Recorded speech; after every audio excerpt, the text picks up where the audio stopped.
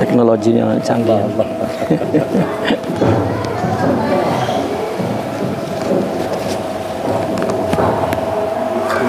Bismillahirrahmanirrahim. Nah. Bismillahirrahmanirrahim. Assalamualaikum warahmatullahi wabarakatuh.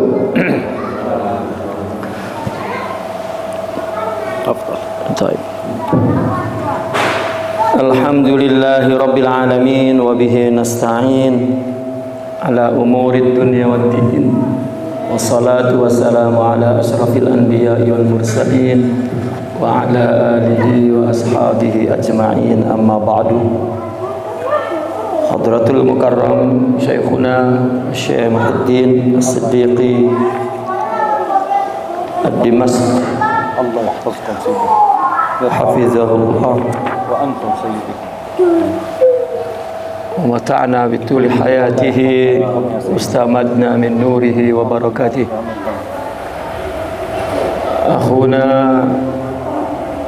كياي سيدي إمام إبراهيم وأخونا كياي فهمان أخونا كياي بشري Ustazuna Kiai Nawasi Para asatid Ibu-ibu, bapak-bapak, ibu-ibu yang berbahagia Terutama pimpinan Kenaziran Makbarah Kesultanan Kenari Semoga kita semua Senantiasa mendapat lindungan dari Allah Subhanahu wa taala keberkahan dan ridha Allah Subhanahu wa taala mengucur kepada kita semua. Amin ya rabbal alamin. Saya mohon maaf dua bulan yang lalu tidak hadir dan mohon maaf pula kepada kenaziran kalau ada miscommunication komunikasi bulan yang Pertama saya sakit dan kehabisan suara demam. Yang kedua saya di Mesir karena menghadiri hari pernikahan putri saya di Mesir jadi uh, tidak uh, bisa mengundur jadwal karena kesepakatan eh, pernikahan dari dua belah pihak ada di awal Februari jadi eh, tidak bisa hadir. Mohon maaf kalau eh, beritanya tidak sampai terutama ke kenaziran. Bismillahirrahmanirrahim. Halaman 5 ya hikmah ke-51 katanya Al-qawmu qala radiyallahu anhu wa nafa'na bihi wa bi'ulumihi wa asrarihi fid dunya wal akhirah amin ya rabbal alamin Al-qawmu la yatakallamuna fi dafatirihim illa bi ba'di ma syahiduhu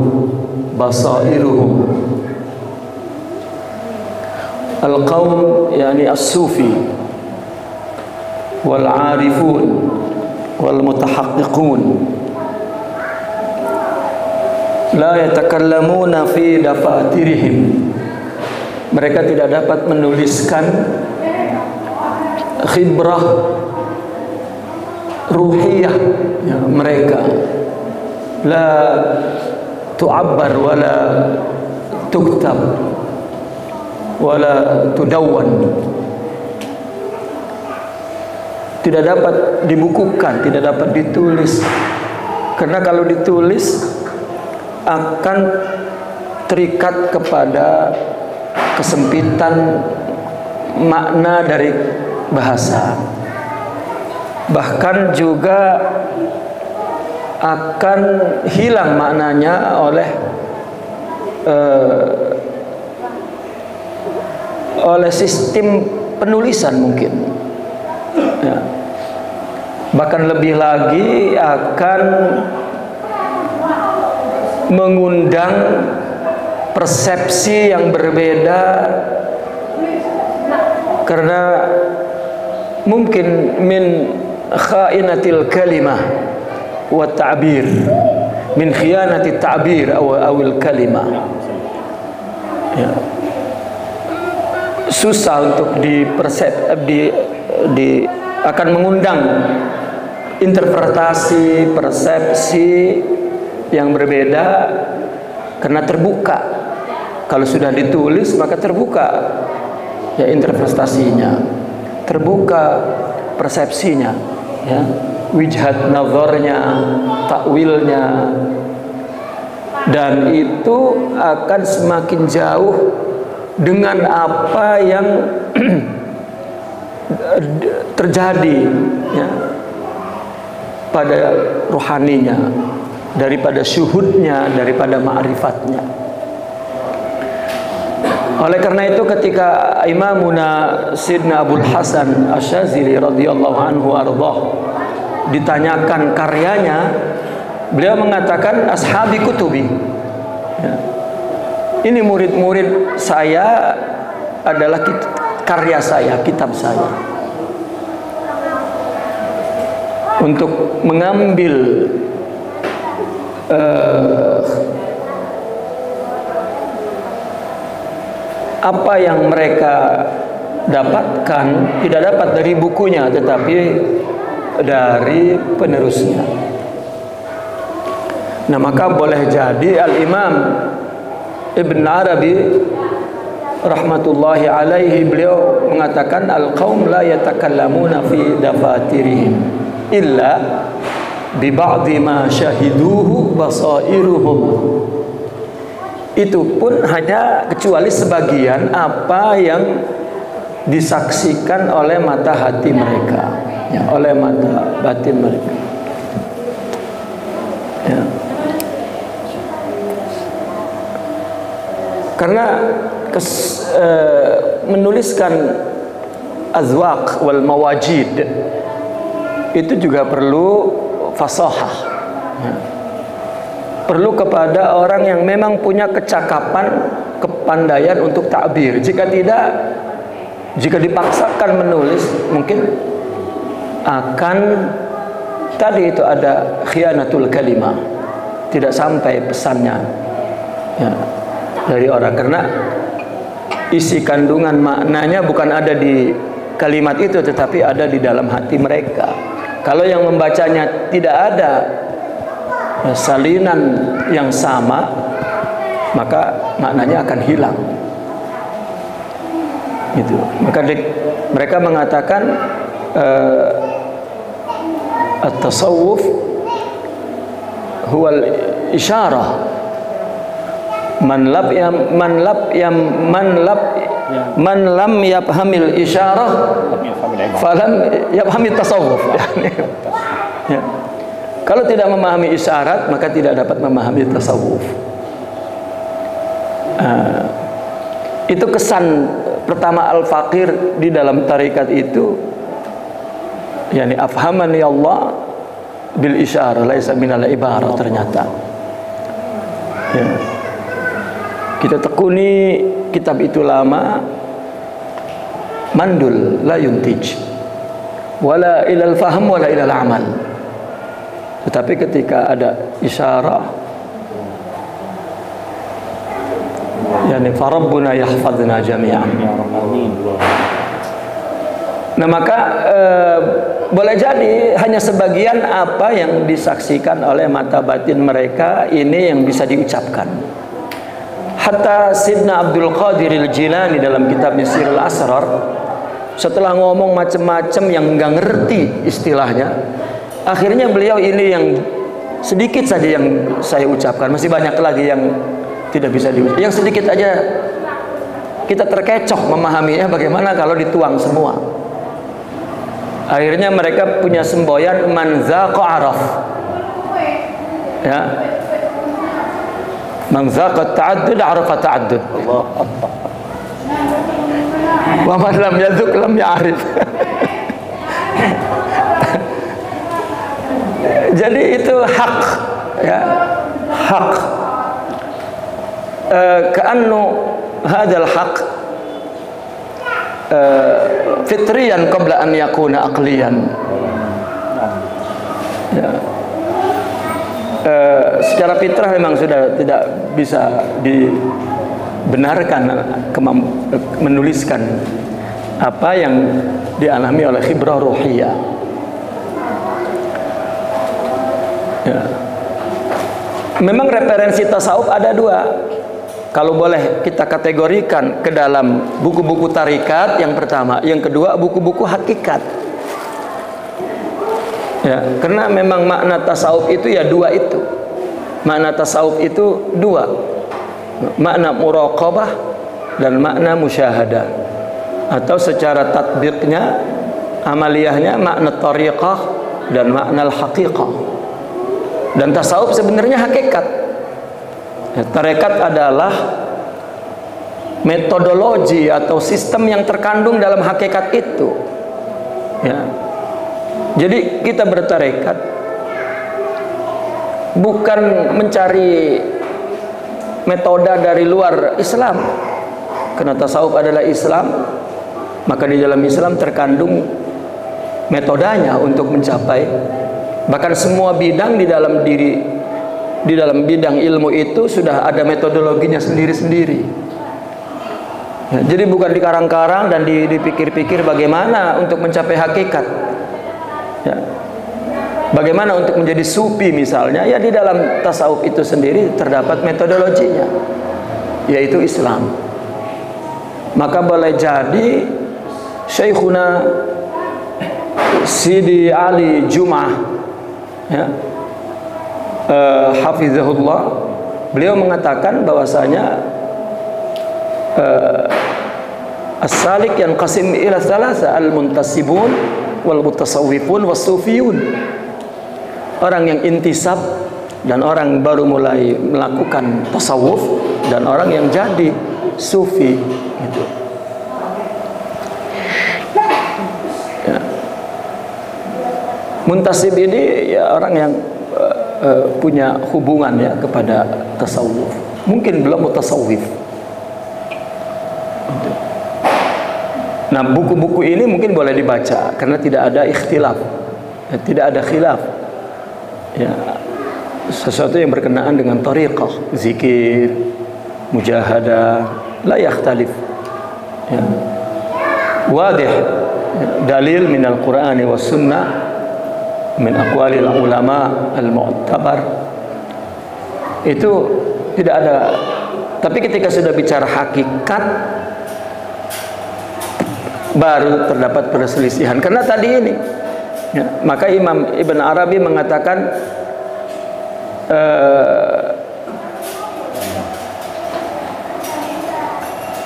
kami adalah orang yang haram membaca kitab-kitab kami ya, kecuali adalah orang-orang yang bersama kami. Haram di sini artinya tidak boleh ya tidak boleh karena bukan dari buku itu. Sebab orang yang membaca hakikat ya memang ada. Syekh Taqiyuddin Ad-Dimashqi dalam risalahnya mengatakan orang yang memahami hakikat ada empat kategori. Yang pertama lahu zakat ya. Allah memberikan dia kecerdasan intelektual. Wa yafham anil haqiqah. Min ulumul ilahiyah paham. Maka dengan banyak membaca payan jazib ilallah. Ada keterpesonaan kepada Allah ada keterpanggilan batin untuk yataqarrab ilallah. Ya. ini kalau tidak dibawa kepada suluk tarbiyah nanti akan yatafalsuf yakni. Yang kedua fitrah nggak ada bacaan tetapi memang secara fitrah dia ada injizab kepada Allah. Ini sering dibilang majzub yang ketiga orang yang mempunyai lahu zaka wal fitrah ma'an. Punyai kecerdasan dan mempunyai kefitrahan. Dan yang keempat ini wala zaka wala fitrah. Ya, tetapi dia punya ilmu pengetahuan agama syariah yang luas dan beliau selalu bercerita dan membangga-banggakan aulia ahli zakah wal fitrah tetapi la yantahij nahjahum.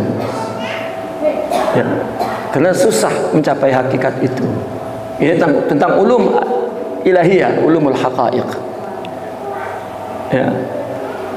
Uh, namun dari semua itu ada yang masuk tarikat atau tidak gitu. Nah, yang punya otoritas kebenaran apalagi ya kalau kita apa otoritas kebenaran untuk menyebarkan untuk menjadi rujukan untuk uh, menjadi sandaran wa yantasib ilaih wa yaqtadi bihi wa ini yang melalui suluk artinya yang bertarekat jika tidak maka tidak boleh.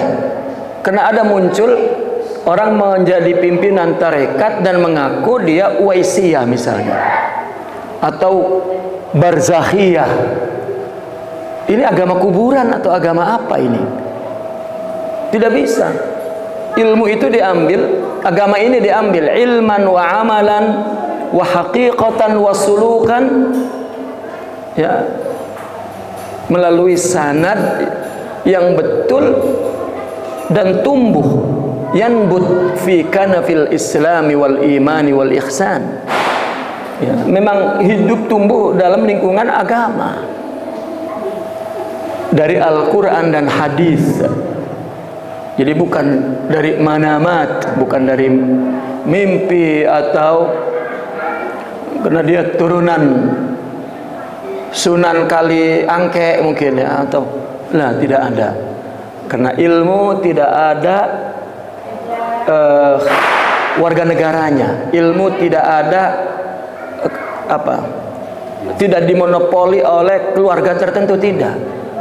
Mungkin di abad ini wali di sini tidak mesti di, ada di sini di pada abad berikutnya mungkin ada di tempat lain. Biasanya orang, oh sekarang udah nggak ada wali dah sekarang ya karena di kampungnya nggak ada dia napikan. Tidak, menapikan wilayah, menapikan robbaniyah, menapik, menapikan Tuhan. Dan itu merusak akidah dan melanggar syariah. Ya. Ilmu saja tuh nggak ada warga negaranya tuh. Coba bayangkan, Islam muncul di Arab, tetapi pakar bahasa Arab itu dari Ajam. Sibawai, laisa Arabian ma'anal Islam yasdur fil, fil minal Arab maka al ilmu ma lahu jinsiyah wala wala yahtakiruhu ayu uh, sya'ab wala uh, nah ini orang masyarakat ya uh, Syekh Al-Mursid Ibn Hula yajib ala an yakuna mursidan. Nah ini Apalagi ada tulisannya dan orang membaca dari tulisan dan mendidik melalui kitab. Tidak. Setiap mursyid mujtahid fi zamanihi fi makanihi ma'a askhasi ma alladhi yahulu tahulu haulah. Setiap mursyid adalah mujtahid di zamannya di waktunya bukan nyontek niru apa yang ada pendahulunya. Tidak. Setiap zaman punya obat yang sesuai untuk di zamannya masing-masing. Itu makanya nggak ada bukunya. Ya. Kalau fuqaha beristihad tentang ilmu fikih itu yang masadirnya dalilnya Al-Qur'an wal hadis. Sumal aql imma al-ijma' atau al-qiyas. Yani hadha huwa al-aql. Setelah naql ba'da al-Qur'an was sunnah tetapi orang sufis sebagai mursyid dan wahwa mujtahid fi madrasatihi maka dalilnya ba'dal Quran was sunnah huwa al ilham min Allah wal ruh wal qalb laisa al aql ya yani ilhamul arifin. Ya sehingga mereka dibimbing mereka mengatakan murabil al murabil hakiki huwa Allah laisa syaikh. Ya. Syaikh dan murid-muridnya bersama-sama bersimpuh di hadapan rahmat Allah Subhanahu wa taala. Ya. Berjalan menuju kepada Allah. Ya. Ini banyak orang sepi habis membuang-buang waktu. Ya. Bukan untuk iqbalul qalbi bil kulliyati ala Allah tapi sibuk dengan yaftakhiru aba'ahum wa ajdadahum. Ya, membanggakan nenek moyangnya. Itu membuang-buang waktu dan tidak ada gunanya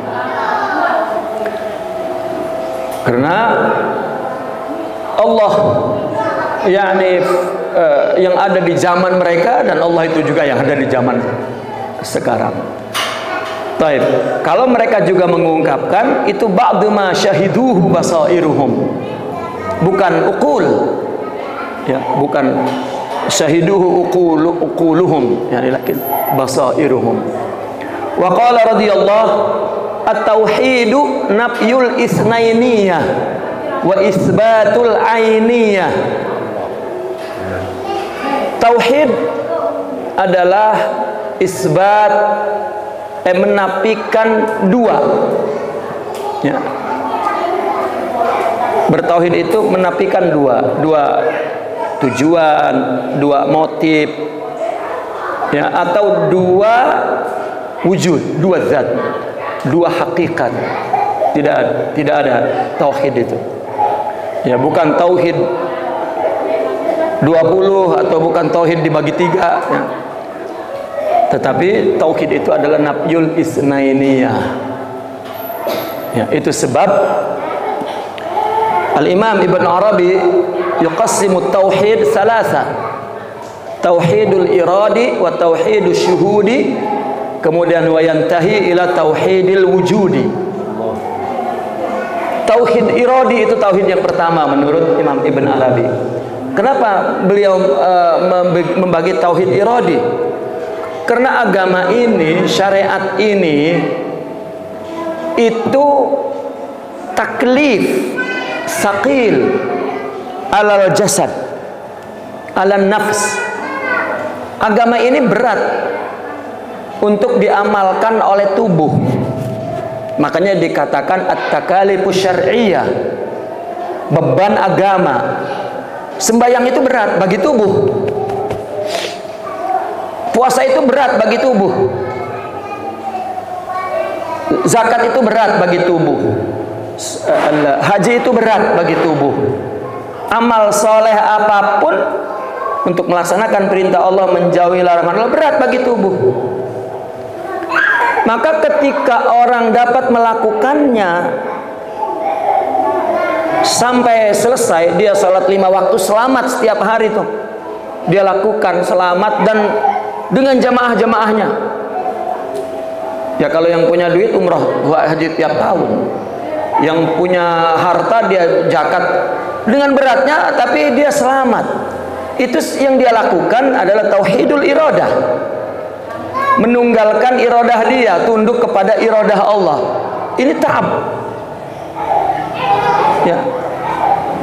Ya katakanlah orang ngikutin kemauan orang lain itu berat kecuali atas sukarelanya kasih sayangnya kenapa suami istri berantem karena irodahnya berbeda-beda ya untuk ditunggalkan disatukan keinginan itu itu beban yang berat. Kalau kesakitan jangan disalahin. Kalau keberatan jangan disalahin. Itu hak. Ya makanya coba kita lihat. Kita sholat leganya itu kapan? Leganya itu ketika habis salam. Assalamualaikum assalamualaikum. Oh setiap habis ibadah lega karena memang irodah kita itu ditundukkan dengan irodah Allah begitu keluar kembali kepada irodah kita makanya di dalam tasawuf itu Penuntutnya disebut murid. Itu permulaan. muridul iradah muridu iradatillah bal muridullah itu adalah menunggalkan iradah itu ibadah syariah tetapi kalau sudah ada uh, ma'rifat maka ada suhud nah suhudnya itu tunggal saja Allah setiap ibadah yang dilihat Allah itu namanya at-tauhid, tauhid, at-tauhidus syuhudi. Pergi ke Ka'bah Allah. Ya, salat Allah annaka tarah. Uh, apalagi zakat Allah. Hadis mengatakan orang memberi sebelum sampai ke tangan penerima sampai ke tangan Allah dulu. Ini suhud kah? Orang berbuat baik di dalam kehidupan sosial, di dalam rumah tangga, di luar rumah tangga yang dilakukan Allah. Ini baru hilang ta'ab. Ya. Ini tauhidnya sampai kepada syuhudi. Nah, syuhudi ini syuhudul ilah. Ilah ini syariah. Artinya ketika dia melakukan perintah dan menjauhi larangan Allah, pusatnya satu. Yaitu Allah. Namun Imam Ibnu Arabi mengatakan kalau suhud ilah itu satu dalam semua anwaul ibadah bahkan hikmah kenapa ibadah itu anwa? Ya. Karena untuk dapat dicapai secara objektif bahwa dia ibadah kepada Allah. Nggak bisa ini ibadah ini. Ada tempatnya, ada waktunya, ada orangnya dan ada ibadah yang khusus. Sehingga punya kesempatan luas. Ya untuk menyaksikan ketunggalan Allah. Karena kalau dilihat hanya satu ibadah enggak kelihatan tunggalnya. Tapi ketika banyak anwa hikmahnya maka eh, dia baru meriah merasakan ketunggalan Allah ya dan tauhid syuhudi itu betul maknanya. Ya, Nah, kalau ilah itu wahid dan tauhid suhudnya, maka wujud juga satu. Bukan hanya kita berinteraksi kepada wujud selain diri kita di luar, sebenarnya kita berinteraksi kepada Allah. Perlakuan orang kepada kita pun sebetulnya perlakuan Allah. Yang wujudnya kita lihat adalah makhluk. Ya, ini mahabbah ya kalau iradah mujahadah kalau tauhid syuhudi yani musyahadah tapi ketika tauhid wujudi adalah mahabbah ana huwa anta wa, an, wa anta ana. Nah inilah tauhid nafyul isnainiyah. Tauhid menafikan dua. Ya wala ana wala anta. Makanya ada ya dikatakan ya disandarkan kepada perkataan Rasulullah. Maknanya bahwa nafsu diciptakan lalu ditanya oleh Allah man ana ya wa man anta jawabannya ana ana wa anta anta dua ya. akhirnya dilaparin tuh nafsu enggak dibakar di api ditanya man ana wa man anta ana-ana wa anta-anta. Ya, ente-ente saya-saya. Akhirnya dilaparin nafsu itu. Begitu ditanya man ana wa man anta, ana abduk wa anta rabbi. Ya. Wakil ana la ana bal anta katanya. Itu tauhid wujudi, tauhid ya. Lebih kepada menghadapi maujudat tetapi dia melihatnya kepada wujud yang tunggal yaitu Allah ini mahabbah ini menafikan bilangan ya yaitu dua wa isbatul ainiyah. Dan yang diisbatkan adalah ainiyah. Ya. Hakikiyah yakni ainu zatillah. Yang dia pandang hanya Allah saja. Ya tidak ada dua. Itu sebab dikatakan oleh uh, uh, Sidi Abdul Karim Al-Jili ini yang mengakibatkan terkecohan orang membacanya. Itulah tadi makanya dikatakan al kaum la yatakallamuna fi dafatirihim. Ya, ketika orang tidak memahami kitab hakikat atau e, salah memahami ya akhirnya menyalahkan orang sufi. Kenapa sih ente nulis-nulis beginian? Orang sufi jawab, "Kenapa ente nggak nanya mana kan gitu." Ya. Jangan dipahamin sendiri, maka timbul, ya udah haram deh baca buku kami kecuali orang kami artinya orang yang berhubungan dengan mereka. Begitu. Apa? Ketika Imam Abdul Karim Al-Jili ketika uh, berbicara tentang suratul ikhlas ya qul huwallahu ahad. Ya kata beliau mengatakan anna al insan Allahumma salli ala sayyidina Muhammad.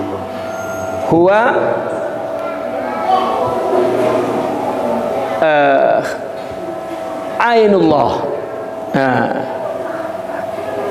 dikatakan bahwa insan huwa ainullah. Ain ini ya, ada kalimat min Sidi Abdul Karim Al-Jili annal insan huwa ainullah. Fafahima uh, homo anna ain huwa nafs. Annal insan huwa huwa Allah nafsu. Dia pakai ilmu nahu Padahal yang dimaksud annal insan huwa ainullah yakni haqiqatul insan huwa Allah. Ain di situ maknanya hakikat. Ya, itu tauhid. Bukan uh, syirik. Ini istilahat yang mereka sepakati. Jadi kalau dibawa ke meja bundar pembahasan nahu sorob meleler apa meleler? Ya melenceng. Ya itu tauhid. Itu sebab apa yang dilakukan oleh mutasawwifin fi tariqatihim fi tariqatihim fi madrasatihim. Ya bahkan makna tarekat itu sendiri. Ya membetul apa upaya untuk membetulkan tawajuhul qalbi ilallah. Karena tauhid ya.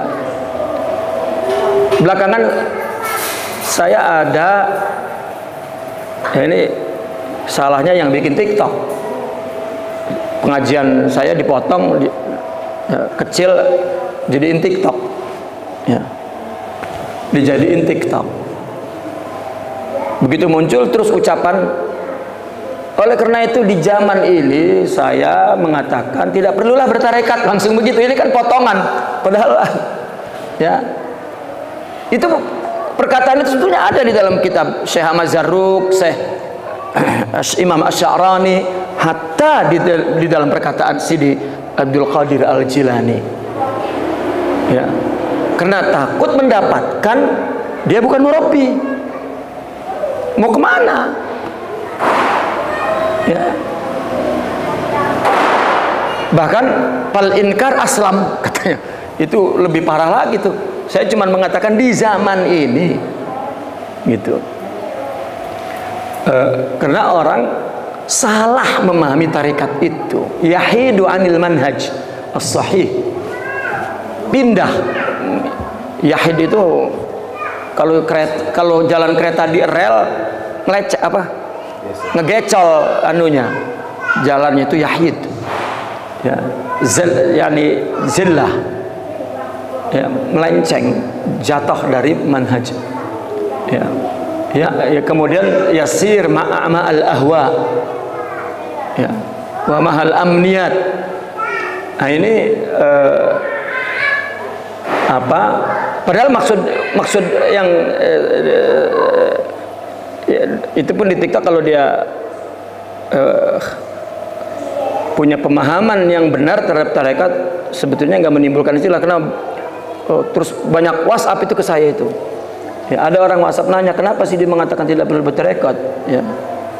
Ahli ilmu saya nanyanya enak antum bertarekat? Enggak enggak. Ngapain nanya-nanya kalau begitu? Ya kecuali bertarekat kali. Maksudnya bertarekat ala ini ala bukan ala. Ala taklidi. Alat tradisional. Ya bukan makna at-tawajjuhul qalbi ila Allah atau al-iqbalul qalbi bil kulliyah ala Allah. Bukan makna tarekat yaitu menghadapkan hati kepada artinya membetulkan semua hidup untuk Allah. Itu bertarekat. Ya. Bahkan saya ingin mengatakan untuk zaman ini orang yang bertarekat jangan buru-buru bayat. Betulkan dulu. Itu perkataan salaf bukan perkataan. Rasanya kita kembali ke salaf.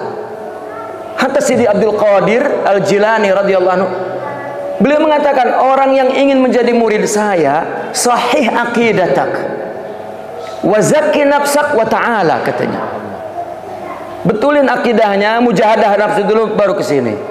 Padahal itu makna seolah-olah ada dua, secara praktek satu itu. Orang yang sedang dia tujukan ibadahnya untuk Allah itu melawan nafsu karena nafsu ingin mempunyai khuzuz khuz bagian dari ibadahnya. Itu tarikat itu. Nah ini isbatul ainiyah ini memang tasawuf banget. Dan perjalanan al, al, al, al, tasawuf adalah tauhid makanya ada ulama yang mengatakan jika syariat itu Islam tarikat itu iman hakikat baru ihsan ya karena untuk syuhud itu perlu tauhid amik. Tauhid amik adalah akar daripada uh, tauhid Allah yaitu memiliki sifat-sifat mulia Allah di dalam hatinya yang syariat menamakan akhlak. Gitu. Dan itu perjalanan iman. Ya. Itu sebab mereka mengatakan asy-syari'ah wal hiyal Islam wa tariqah hiyal iman wal haqiqah wa alla alla inam wal haqiqah hiyal ihsan. Ya, wal aqs sah. Yani nafs makna. Nah, maka ini tauhid tauhid sufi. Ya.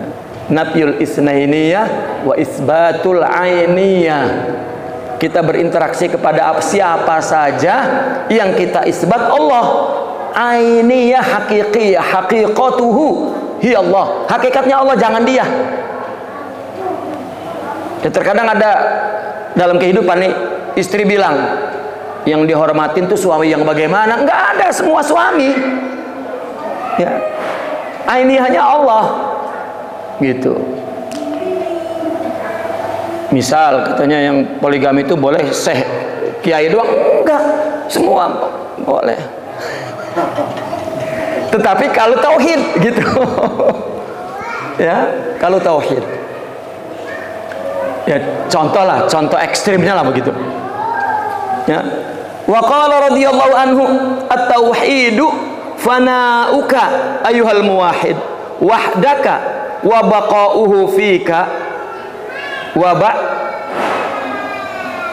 di sini. At-tauhidu fana'uka ayyuhal muwahhid. Wahdaka wahdaka. Wa baqa'u wa baqa'uhu fihi. Wa ba'daka? Fika baqahu fika wa ba'daka. Baqa'uhu fika wa ba'daka. wa ba'daka. Naam. Tauhid itu fanauk. Ya. Orang sufi ngertiin tauhid fanauk, baqauh. Itu sama dengan makna wilayah, wilayah al-fana wal baqa sama saja. Sebetulnya itu tarikat. Ini upaya untuk bertauhid maksudnya. Ayuhal muwahhid, wahai orang yang ingin menunggalkan Allah, wahai orang yang bertauhid. Tauhid itu apa? Ya. Fana'uka wahdak. Ya. في مشكلة في العبارة سيدي. نعم صحيح. كأنه سيدي وبقاؤك فيك بعدك. بعدك؟ بقاؤك أيها المميت فيك بعدك. فناؤك أيها وحدك. لا هو بقاؤه يا سيدي. بقاؤه. بقاؤه. يعني بقاؤه بمعنى تجلي الحقائق على على نفسي على روحي. نعم. أما فناء فناء النفسي ولكن المشكلة هذا بعدك ولا بعدك. لا. آية أقرأها كذا يا سيدي. نعم. توحيد فناؤك أيها الموحد وحده. وحده وحده لا ما يمكن. ما يمكن.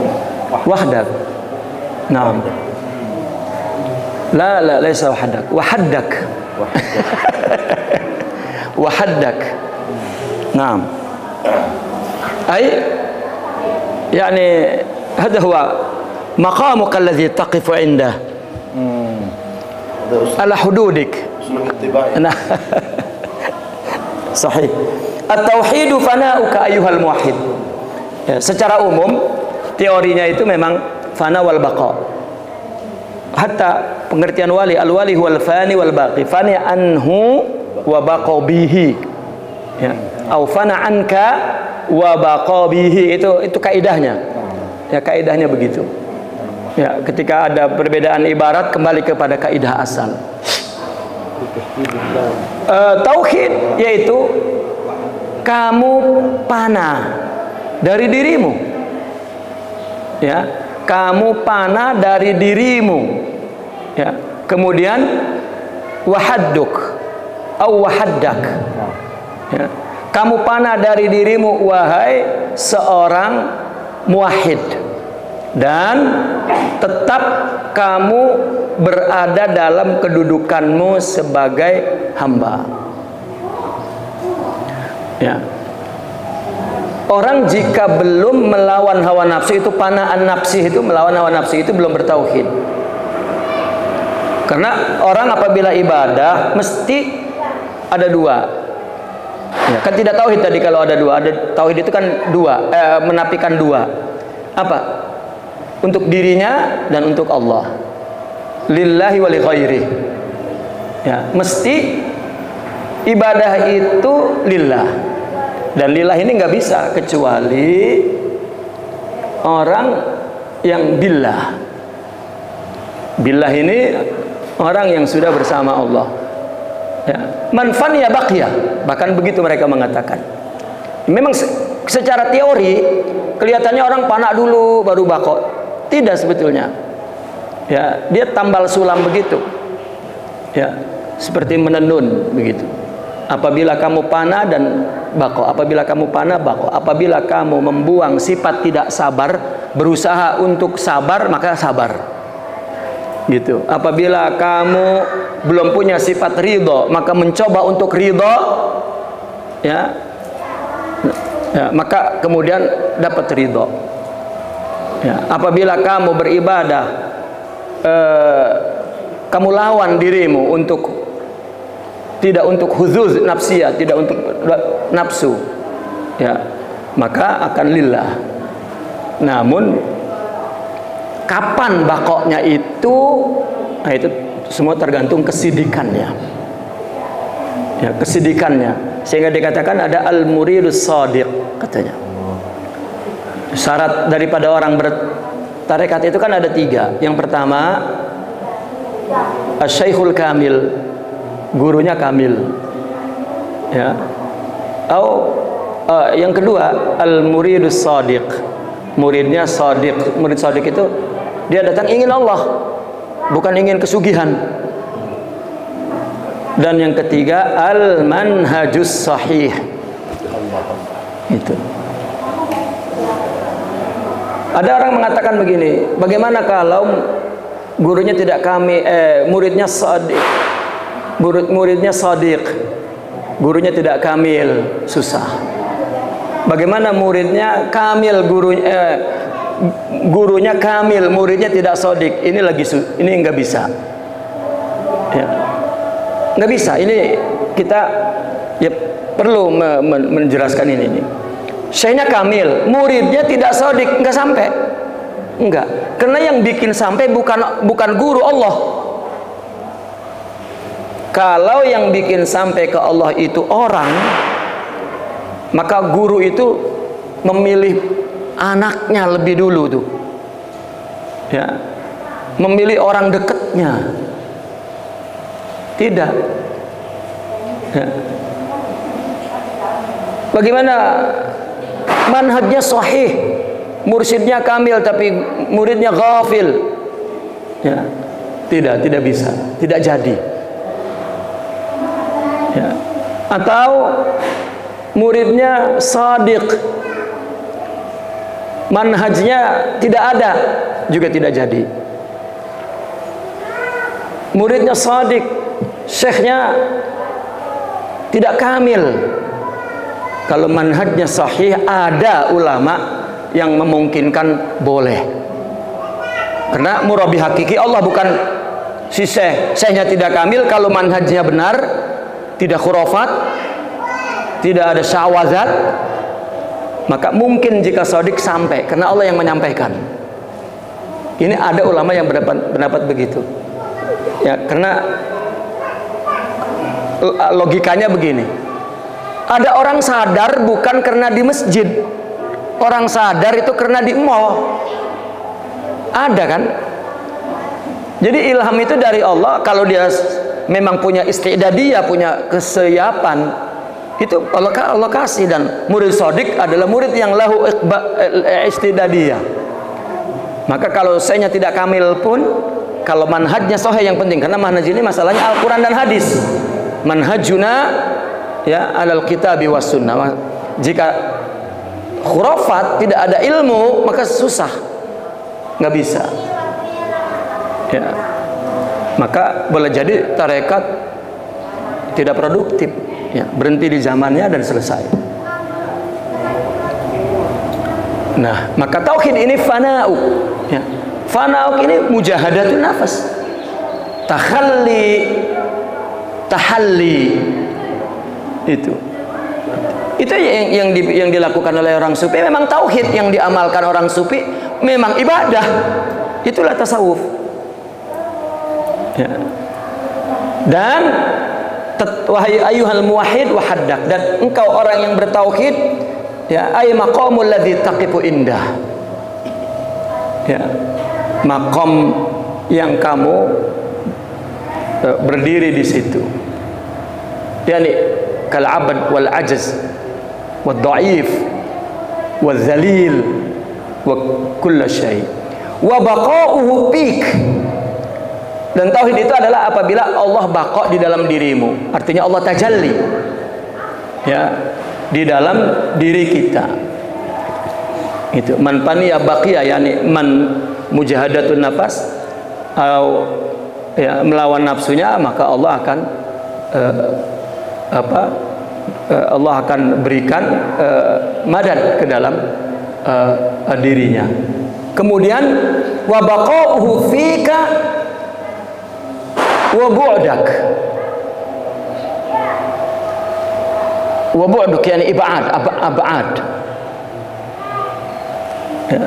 dan uh, menjauhkan dirimu. Ba'id an nafsak ya. sudah tidak lagi terpengaruh dengan uh, sifat nafsunya, dirinya. Ya. Nah, orang apabila dia memposisikan sebagai uh, hamba ya dan kemudian memandang Allah sebagai Tuhan seperti kun abdi kun abdan li akun robban lak begitu itu tauhid ya dan kehambaan itu muncul apabila dia fana Ya, panah ini bukan istilah panah yang um, makomat itu ya. Makom kan panah itu punya makna yang uh, luas berdasarkan siaknya. Ya, fana'uk bukan bimakna fana ba'da syuhud la la la yata'allaq bihadza yani. Fana'uk yani bimakna anta tabna an nafsik.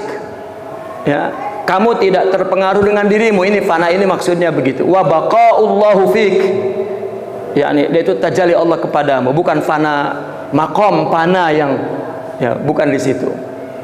Maka ketika man huwal wali kama qala Sidi Abdurrahman Al-Jami uh, al-wali huwal fani yani fana an nafsi wal baqi baqa bihi. Kama qala al-imam al-Junaidi ma huwa tasawuf?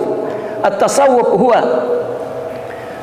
uh, an tumita antumi tabihi nafsak wa tahya bihi ta'ala Au kama. Tasawuf adalah mematikan dirimu dan hidup dengan Allah katanya dengan itu. Wa huwal fana wal baqa wa huwa ya ya eh, fil akhir akhirnya al wilayah wa tauhid wa syuhud itu ada dalam satu keranjang ya. Ada dalam satu kolam. Ya. cuma eh, sudut pandang yang berbeda. Ya taib. Wa qala radhiyallahu anhu as-sabru anhu sabrun wa balwa. As-sabru pih syahdun wa halwa. Ya. Sabar menahan itu sabruan. Ya. Yaitu sabar apa? Sabar me, kalau dalam syariat sabar eh, menjauhi perintah Allah. Ya. Sabar menjauhi perintah Allah itu sabar pahit dan malapetaka. Berat letih tapi as-sabru ya. Maka itu syahdun wa halwa. Kalau sabar di dalam cinta itu di dalam dekat itu indah dan manis. Tapi sabar di dalam jauh. As-sabru wa huwa ba'id. Sabrun wa balwa. Amma sabru wa huwa qarib syahdun ya uh, wa halwa ya karena ada kan dalam qasidah itu uh, Allahumma salli fi qasidah Allah. Sabru sabru an ghufani yani eh. Ma Rasulullah sallallahu alaihi wasallam ya Sulaim ya Sulaiman Sulaiman kita Sulaiman Allahumma salli wa sabru anhu fan. Ya. Itu sabar jauh. Seperti orang rindu itu as-sabru an itu memang ta'ab wa balwa. Tapi kalau sabru fi yang qarib mahabbah dekat itu syahdun. Masyahdun itu manis madu. Wa khalwa juga manis indah ya. maka orang kalau bercinta kalau jauh itu berat. Kalau dekat indah sebetulnya itu. As-sabru anhu asyauq was-sab as-sabru fihi al-unus. Itu. Ya. seolah-olah asyauq balwa wal unsu halwa. Ya. Was-sabru eh, eh, eh, eh, eh, asyauq rindu sabar sabar itu pahit. Mur. Ya kalau al unus yakni al asal ya madu. Nah, ini uh, apa uh, menjelaskan karena uh, sabar itu kita lihat maknanya dari huruf huruf uh, jernya itu. Apa? Sabaroan atau sabarofi ya kalau sabaroan karena jauh karena baid. Ya karena baid. Ya. Wa qala radhiyallahu anhu man taba min nafsihi nakas Allah wa man taba alaihi sabat wa makas kita berhenti di sini karena tobat ini apa? Tobat ini satu perjalanan uh, awal ya.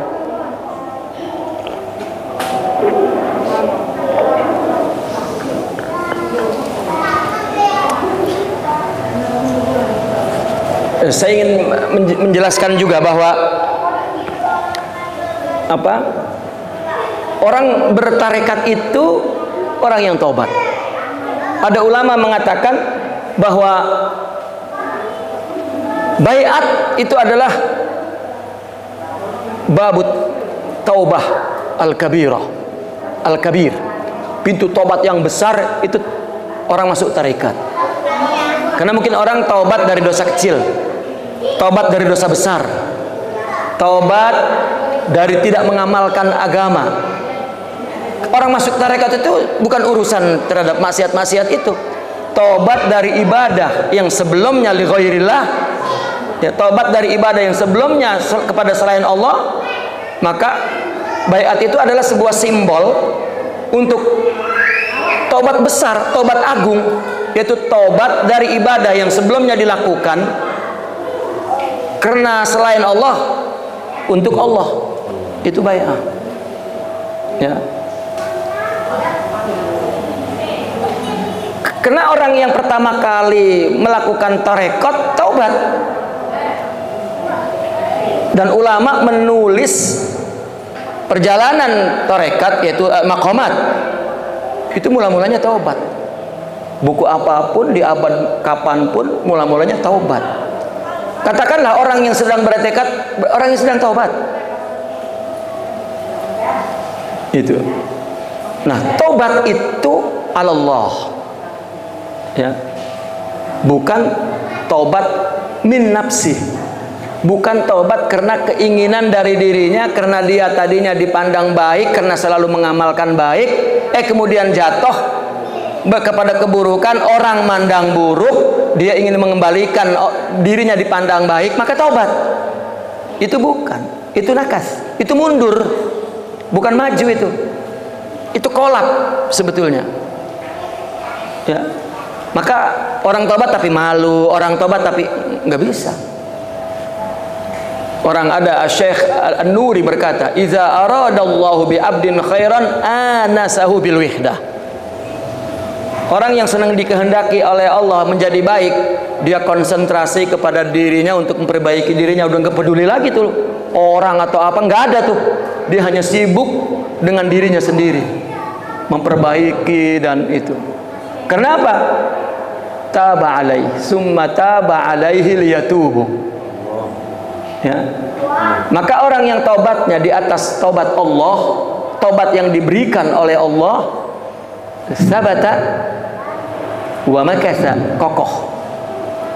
Bahkan maju. Tobat itu karena dari dari kafir ke Islam tobat, dari taat ke maksiat tobat, dari ibadah yang dilakukan untuk nafsu dan untuk orang kepada Allah ini ini tobat. Nah, ini tobat tarikat. Gitu. Nah, sekarang kita bicara tentang sedikit tentang tobat, sedikit saja. Orang apabila melakukan tobat, apa yang tumbuh dalam dirinya itu apa? Saya tobat ya Allah, apa? Atau kalau istilah selebritis, hijrah. Hijrah pakai jilbab gitu. Ya besok dibuka lagi. Ya. Karena mungkin ngaji, ngedengar ilmu jilbab, oh, emosional.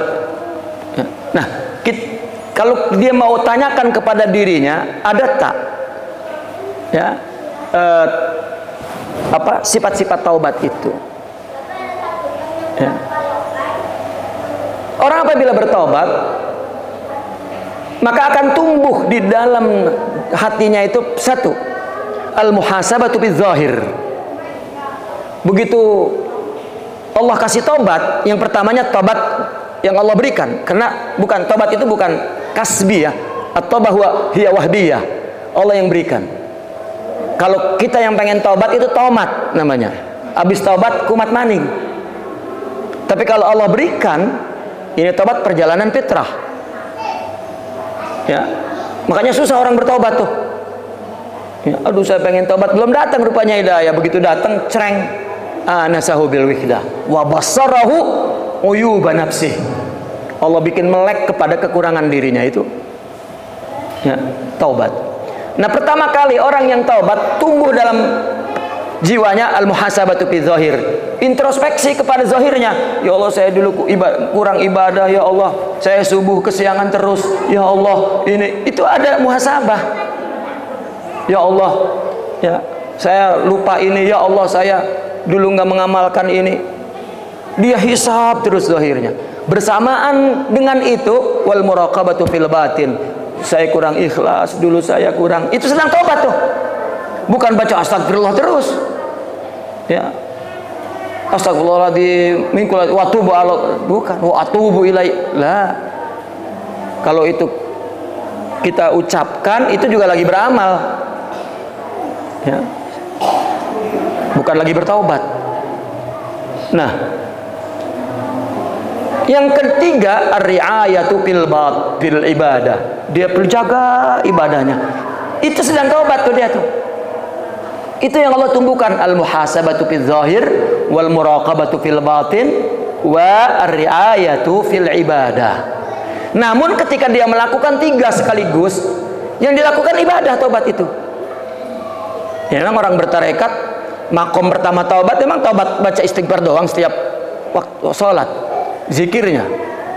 Ya, padahal zikir itu kan sugesti kepada pikiran dia agar hatinya iqbal. Ya. Ini kita udah bertarekat baca istighfar disuruh 100 sibuk dengan bilangan. Astagfirullah astagfirullah, ngantuk jat tabenya tasbihnya terlepas bingung dia. Udah berapa tadi ya? Ini ngapain ini ini berhenti bertarekat ini. Taubat gitu. Ya. apabila sibuk kepada bilangan maka jadi mantra itu. Meskipun Al-Quran. Itu bukan mujahadah namanya mukabadah. Nyape-nyapein diri itu mujahadah bukan melawan nafsu. Nah maka al-muhasabah fil zahir wal muraqabah fil batin wariaya fil ibadah. Apabila ini ketika dia melakukan tiga, baru dia terasa ternyata nafsu dalam diri kita itu hambatannya. Maka dia lawan, maka mujahadah. Dan yang pertama kali diperlukan sabar. Itu tadi tuh. As-sabru anhu. Ya. Tapi ini ada makna sabar anhu, sabar fihi ada makna tingginya tapi tadi kita jelaskan makna biasa. Karena sabar anhu wali itu sabar anhu. Ya, udah nggak tahan nahan rindu itu sabar anhu namanya. Makanya wali di dunianya hazin balwa. Ya, apabila ibadah ngaku dirinya malah petaka kita memang ngaku terus itu mantapnya. Ya bukan malah petaka dan ila akhiri. Tapi kita kembali lagi mantaba min nafsi min, min, min nafsihi nakas wa mantaba alaihi sabata wa makas tapi kalau tobat yang Allah berikan, maka muncul tuh sifat-sifat tadi tuh. Dia nggak ngelihat orang. Ya, orang akan berhenti kalau tobat hanya dari dirinya, bukan dari Allah. Ya, bukan turun dari Allah, bukan wahbiyah, tetapi dari dirinya kasbiyah. Itu karena dia ingin perbaiki kedudukan dia agar orang mandang lagi baik. Kalau orang udah berubah pandangannya baik, berhenti sudah tobatnya tuh. Ya, mungkin dia melakukan maksiat, tangan kanannya, tangan kirinya nggak tahu tuh ya dan itu bukan taubat. Itu justru kolaps. Semakin terhurur semakin tertipu oleh nafsunya. Dan itu tidak taubat. Naqifuna walhamdulillah al-fatihah